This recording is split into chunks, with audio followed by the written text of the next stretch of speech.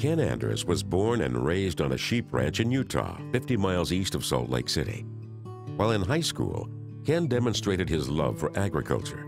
He was active in FFA and served as chapter president. Upon completion of high school, Ken enrolled at Brigham Young University, majoring in animal husbandry. After a two-year mission and service in the U.S. Army, Ken returned to BYU for graduate school. During this time, he met Colleen Lloyd. They were married in 1972 and began their family, eventually raising eight children. In 1975, Ken left BYU and entered into a ranching farming operation with his younger brother. Together, they bought the family ranch and started raising Suffolk sheep, exhibiting at shows and sales from California to Louisville, Kentucky.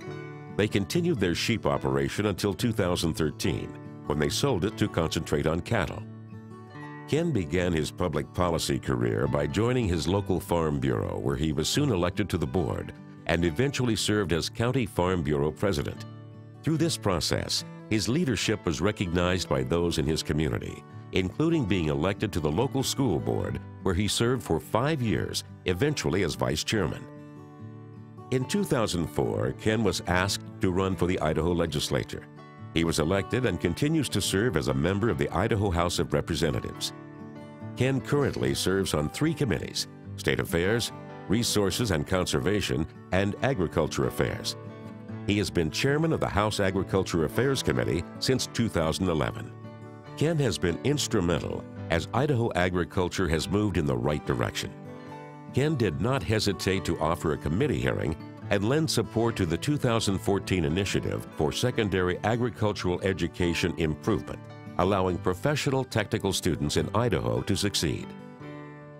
Laura and Brett of the Wilder Sheep Company say, not only is Ken nationally known for the quality of his operation and livestock, but for his strong work ethic and integrity. He has been a leader in the Idaho sheep industry and other livestock and farm organizations and a champion for agriculture and agriculture education.